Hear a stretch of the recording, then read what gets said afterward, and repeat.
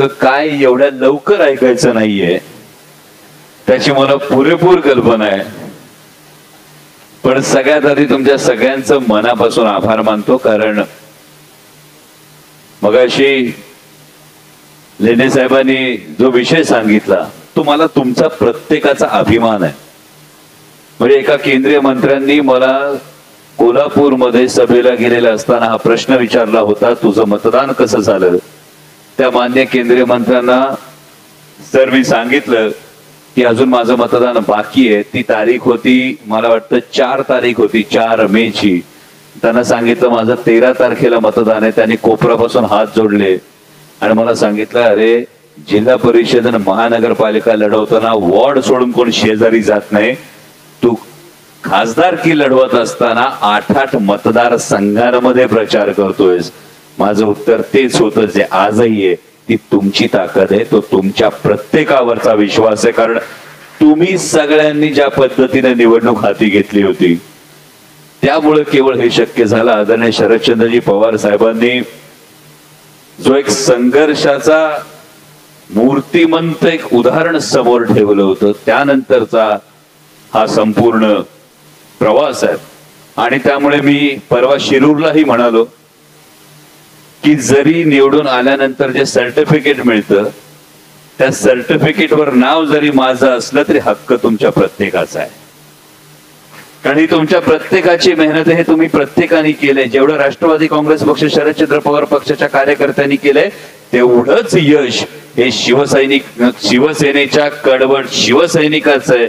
तेवढंच यश हे काँग्रेसच्या प्रत्येक कार्यकर्त्याचे तेवढंच यश बिरसा ब्रिगेड असेल मार्क्सवादी कम्युनिस्ट पक्ष असेल आम आदमी पक्ष असेल या सगळ्यांनी ही मेहनत केली आहे. आणि त्यामुळं हे जे दैदिप्यमान यश दिसतंय त्यामुळं ते येतंय.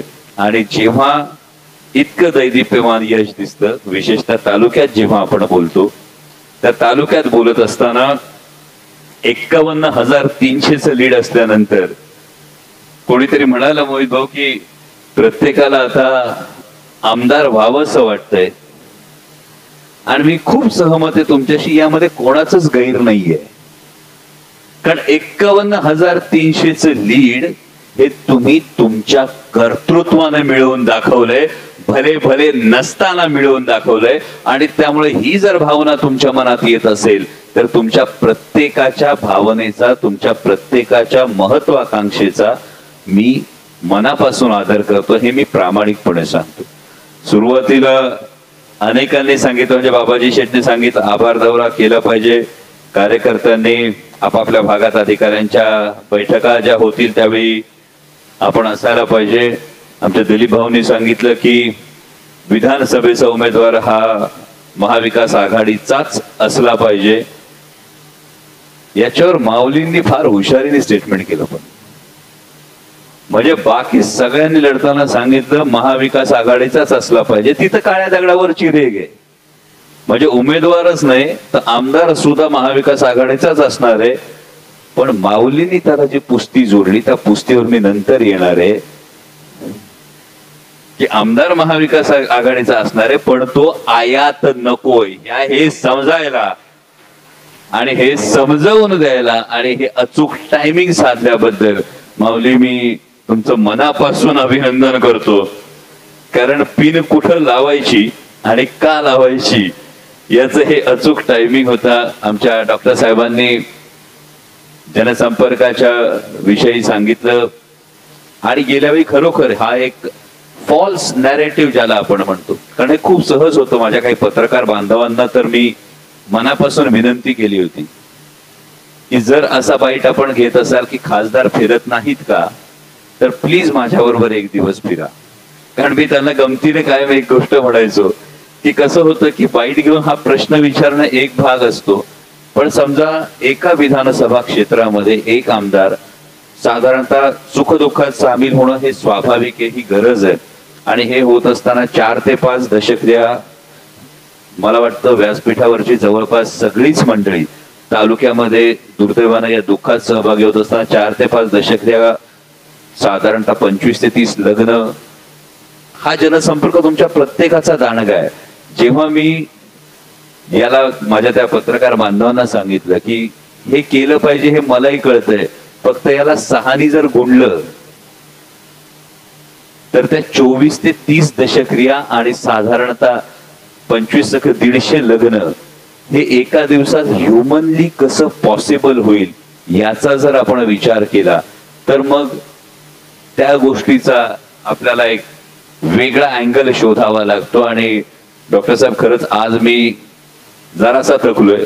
कारण अकरा वाजल्यापासून आंबेगाव तालुक्यामध्ये मनसरमध्ये आंबेगाव तालुका आंबेगाव शिरूर विधानसभेचा जनता दरबार सुरू होता. अकरा वाजता जे बसलोय ते पाच वाजता जागेवरून उठलोय. एवढी जनता दरबारात येणाऱ्यांची संख्या होती आणि मग मला खरोखर हा प्रश्न पडला. मला माऊली शेठ खरंच वाटलं नव्हतं सत्यशील दादा की आंबेगाव तालुक्यात एवढा वेळ जनता दरबार घ्यावा लागत असेल. कारण तिकडे काहीतरी दर रविवारी पण काहीतरी गोष्टी चालायच्या असं मी ऐकलं होतं. आणि त्यानंतर माननीय मंत्री महोदय असताना सुद्धा एवढ्या मोठ्या प्रमाणावर सर्वसामान्यांना त्यांच्या समस्या घेऊन लोकप्रतिनिधीकडे यावं लागत असेल. तर मी मनापासून तुमच्या सगळ्यांचं पुन्हा आभार मानतो. कारण यामध्ये जनता दरबार घेतला म्हणजे तीर मारला नाही. ही कृतज्ञता आहे. नेत्यांना बाजूला ठेवून सर्वसामान्य जनतेने जी निवडणूक हातात घेतली होती त्या सर्वसामान्य जनतेच्या प्रती ही कृतज्ञता होती. आणि मगाशी मोहित भाऊनी सांगितलं की ऑफिसच्या संदर्भातही काही ज्या तक्रारी होत्या त्याची दुरुस्ती आपण शंभर टक्के करतो आहोत.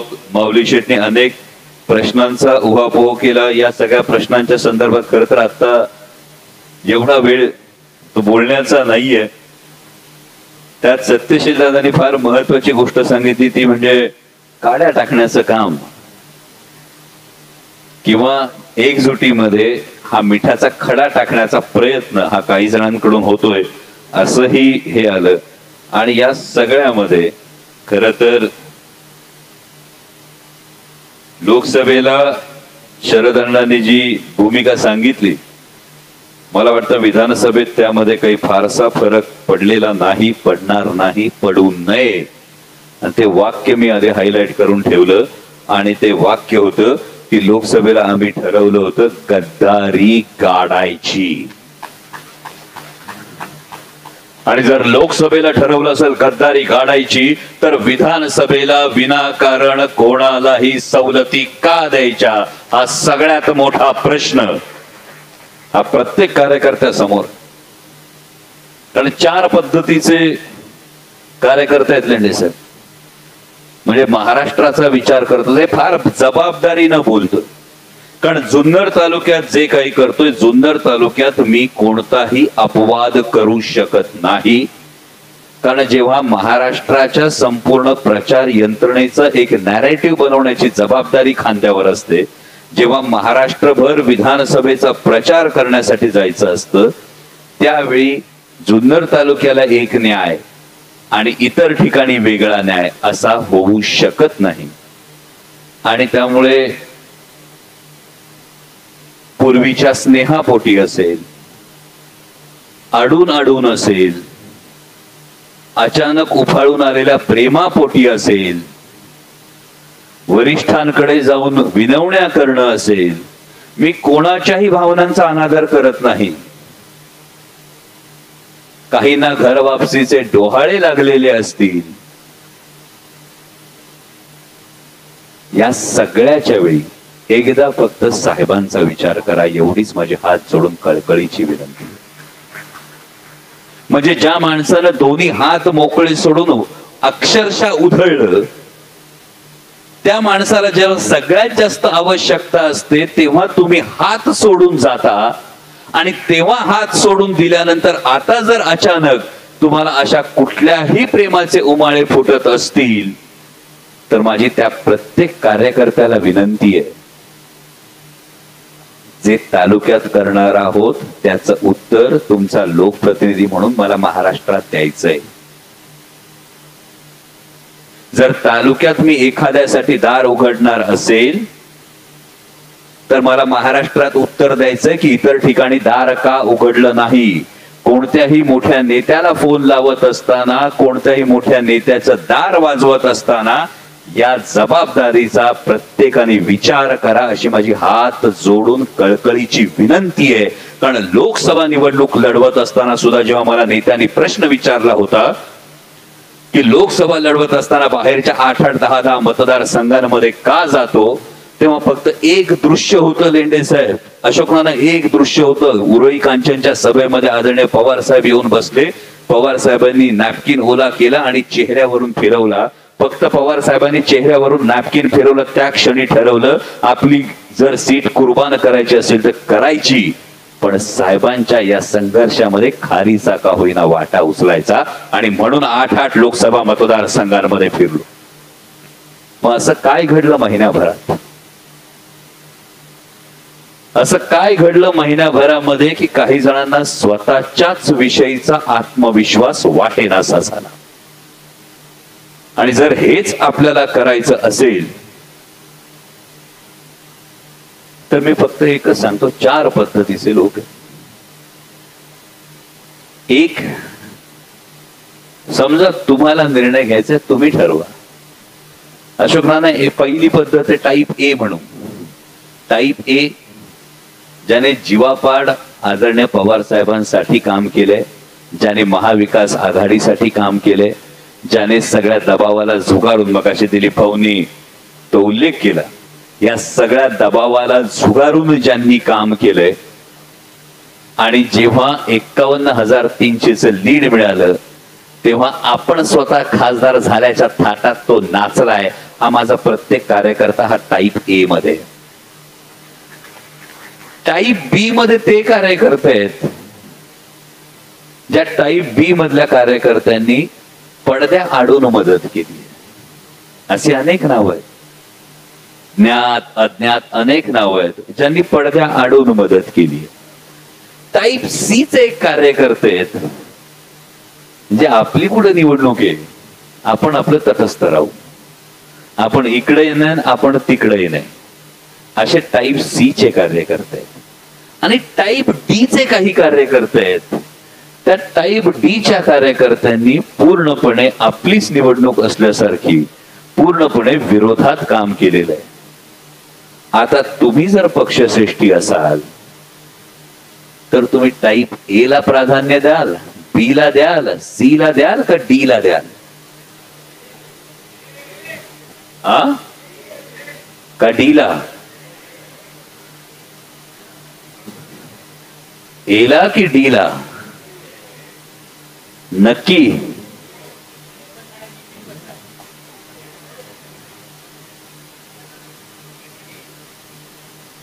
मग या पद्धतीचं जेव्हा नॅरेटिव्ह पसरवलं जातं तेव्हा तुमचं माझं जर एकमत आहे त्यामुळे याविषयी निर्धास्त रहा महाविकास आघाडीचाच आयात नसलेलाच उमेदवार आणि तोच जुन्नर तालुक्याचा आमदार होणार.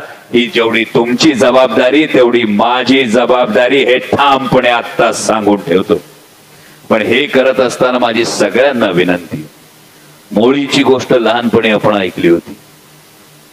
एक्कावन्न हजार तीनशेचं लीड एकट्या अमोल कोल्हेचं लीड नाही. एक्कावन्न हजार तीनशेचं लीड एका जिल्हा परिषद गटाचं लीड नाही. एक्कावन्न हजार तीनशेचं लीड हे आपलं महाविकास आघाडीचं लीड. हे महाविकास आघाडीचं लीड होत असताना संपूर्ण राज्याचा विचार होत असताना जागा कोणत्या पक्षाला जाणार अजून ठाऊक नाही. मग अशी बहुतेक सत्यशील दादा म्हणाले लवकर उमेदवार जाहीर करा. पण मी हीच विनंती करतो की जर मला अजून ठाऊकच नाहीये जागा कोणत्या पक्षाला जाणार आहे आग्रह प्रत्येकाचा आहे आणि तो प्रत्येकाचा असणं स्वाभाविक आहे. म्हणजे सिटिंग कॅन्डिडेट राष्ट्रवादी काँग्रेस पक्ष शरदचंद्र पवार त्यांचे तुम्ही खासदार निवडून दिलेत. संघटनात्मक बांधणी शिवसेनेची तेवढीच मजबूत आहे. काँग्रेसची स्वतःची वेगळी ताकद आहे त्यामुळे प्रत्येक पक्षाला ही जागा आपल्याकडे हवी. हे वाटणं फार स्वाभाविक आहे. मी केवळ तालुक्याचं प्रतिनिधित्व करत असतो तर मी वेगळं बोललो असतो. पण जेव्हा तुम्ही महाराष्ट्राचं चित्र बघता तेव्हा एक गाठ सोडण्याच्या नादात तुम्हाला पंधरा गाठी मारायच्या नसतात.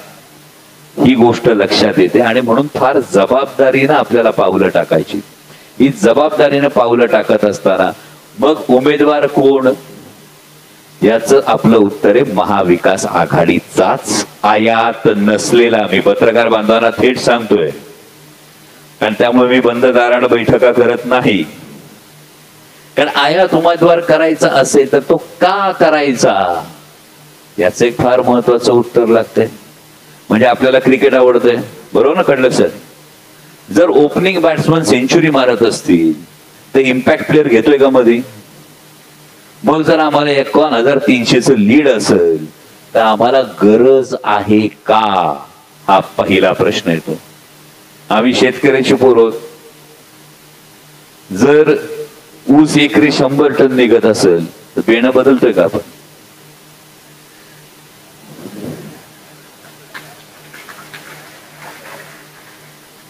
ऊस एकरी शंभर टन निघत असताना आपण बेणं बदलत नाही. ज्या छत्रपती शिवाजी महाराजांचा आपण काय उल्लेख करतो त्या छत्रपती शिवाजी महाराजांनी फार मोठे आदर्श घालून ठेवलेत. छत्रपती शिवाजी महाराजांच्या इतिहासामध्ये तुम्ही एक गोष्ट बघितली असेल सरसेनापती नेताजीराव पालकर काही कारणामुळे महाराजांची साथ सोडून आधी आदिलशहाकडे गेले त्यानंतर औरंगजेबाकडे गेले त्यानंतर औरंगजेबाने त्यांचं मोहम्मद कुली खान म्हणून धर्मांतर केलं. छत्रपती शिवाजी महाराजांनी नेतोजी पालकरांची घर वापसी केली. आठवते आठवते सगळ्यांना? नेतोजी पालकरांच्या मोहम्मद कुली खान मधून त्यांना पुन्हा हिंदू धर्मात घेतलं. सामाजिक क्रांती होती ती. आता तुम्ही म्हणाल छत्रपती शिवाजी महाराजांनी घर वापसी केली. मग हा आदर्श डॉक्टर अमोल कुले आता का सांगतायत? तर याचं उत्तर असं आहे की त्यानंतर जरी घर वापसी केली असली तरी छत्रपती शिवाजी महाराजांनी नेतोजीराव पालकरांना मानाचं पान दिलं पण पुन्हा सरसेनापती केलं नाही. हा इतिहास आहे महाराजांचा. हा इतिहास लक्षात ठेवणं तितकंच गरजेचं आहे. आणि म्हणून तुम्हाला सगळ्यांना विनंती या पद्धतीची जर आपण एकजूट टिकवली. म्हणजे मला एका कार्यकर्त्याचा परवा फोन आला. त्या कार्यकर्त्याने मला असं सांगितलं की आपण विचार केला पाहिजे. म्हटलं तुम्हाला कदाचित तुमच्या का क्षमतेवर अविश्वास असेल मला माझ्या महाविकास आघाडीच्या प्रत्येक कार्यकर्त्याच्या क्षमतेवर पूर्णपणे विश्वास आहे आणि मला खात्री आहे की विधानसभा निवडणुकीमध्ये सुद्धा हीच गोष्ट पुन्हा रिपीट केली जाणार आहे. हेच लीड याच पद्धतीनं आपण विजयश्री खेचून आणणार आहोत. आणि हे होत असताना जसं माऊली शेठ आपण म्हणालात की पालकत्वाची जी जबाबदारी आहे मी तुम्हाला सगळ्यांना शब्द देतो. शिवजन्मभूमीची मान खाली जाऊ देऊ नका.